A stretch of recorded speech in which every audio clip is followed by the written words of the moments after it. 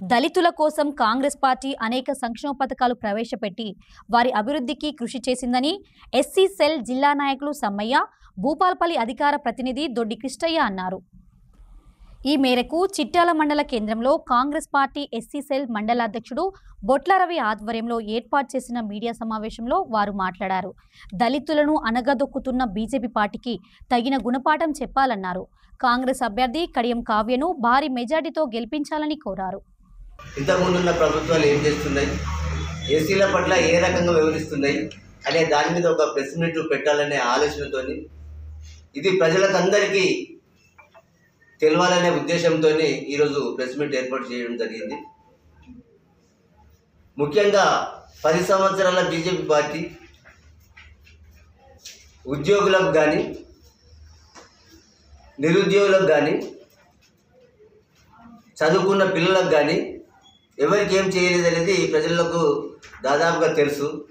కానీ ఈ దేశాన్ని రక్షిస్తున్నది బీజేపీ పార్టీ అని బావుటంగా వాళ్ళు చెప్పుకోవడం.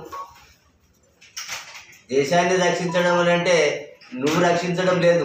బార్డర్లు ఉన్నటువంటి ఆ రక్షణ శాఖ రక్షించబడుతుంది. అదే రక్షణ. కానీ నువ్వు ప్రజలకు ఏం చేస్తున్నావు? ఎస్సీలకు ముఖ్యంగా ఎస్సీలకు ఏం చేస్తున్నావు? ఎస్సీ వర్గాలన్నీ ఐక్యతగా పోరాటం చేసి మిమ్మల్ని ఓడియడానికి మిమ్మల్ని బొంద పెట్టడానికి కంకణం బద్దులై ఎస్సీ వర్గాలు.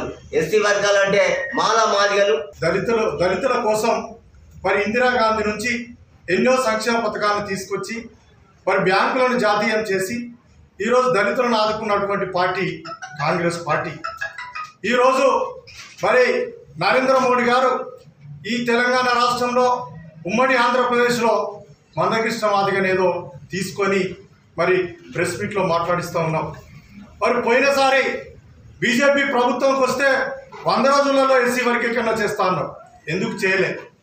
మరి ఈరోజు మళ్ళీ ఎన్నికలు రాగానే మరి సామాజికవేత్తగా ఉన్నటువంటి మందకృష్ణ గారు రాజకీయవేత్తగా మారి ఈరోజు దళితులందరినీ మరి రాజకీయంగా అమ్ముకునే దిశగా పనిచేస్తున్నటువంటి మందకృష్ణ మాదిగా మరి ఈరోజు భారతదేశం యావత్తు చూస్తూ ఉన్నది.